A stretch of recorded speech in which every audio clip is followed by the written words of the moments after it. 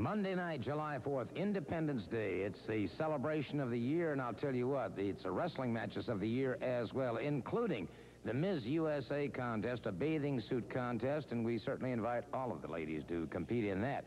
However, a most important night because it's first round pairings in the heavyweight championship match, and uh, Todd Morton has drawn the dog.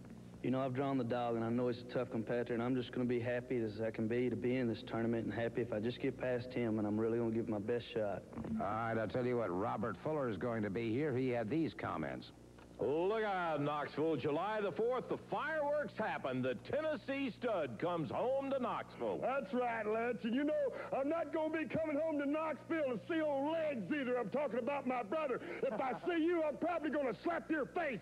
But what I'm going to be doing, baby, is winning titles. And I'm talking about high style. I'm talking about tournament style. When the stud comes home, the stud comes home to walk out with the belt. And that's exactly what I'm taking with me when I come to Knoxville. I'm winning and I'm leaving champ. All right, we're going to find out about that. Let's talk to Wildcat Wendell Cooley about it. Well, I tell you what, the so-called Tennessee stud hadn't got any better looking, and he says he's going to come home to Knoxville, Tennessee, and he's going to win this USA heavyweight belt, and he's going to win the tournament. Well, let me tell you something, brother. There's another thing coming. You got to get through me first, and I don't think you're going to get that job done. Midgets will be on hand as well.